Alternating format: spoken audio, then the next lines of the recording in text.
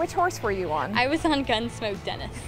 Can you tell me more about him? Um, he's 15. I had him around June. I showed him in Switzerland on the FEI team.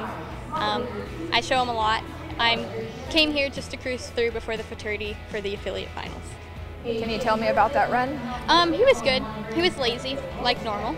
Um, he stops are his best maneuver, so he went in there and stopped huge like normal. Um, he was very happy. He got five treats after he was done, or more. I don't know. I lost count. He's very pushy when it comes to food. That's funny. Um, where do you plan to show him next? Um, I'll show him again on Saturday, or no, Sunday, sorry, on in the non-pro also, and then after that we'll just get ready for the futurity and for the affiliate. Yeah, that's pretty exciting.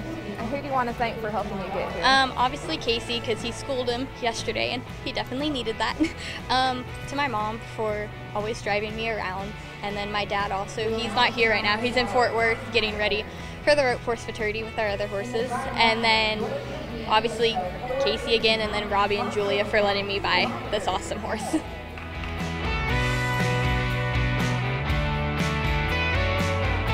Markel has had the privilege of being affiliated with the National Reining Horse Association for over 20 plus years.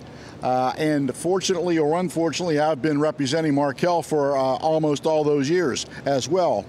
We um, are a very integral part of the horse industry. We intend to remain an integral part of the horse industry. When you look at organizations like the NRHA and NRCHA and other organizations that we have had the good fortune of representing, it's um, about what we can do for the people through the products that we have to offer, that being not only livestock mortality, but uh, commercial equine insurance, farm and ranch coverage, and also commercial liability and professional trainers liability.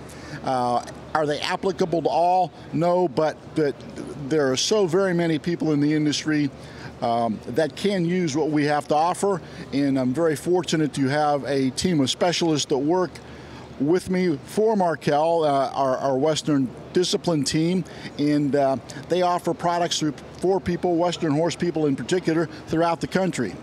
Uh, we have some other opportunities that are becoming available now um, with the hopeful addition of uh, a new organization and some new entities, along with some other products that Markel offers as a corporation.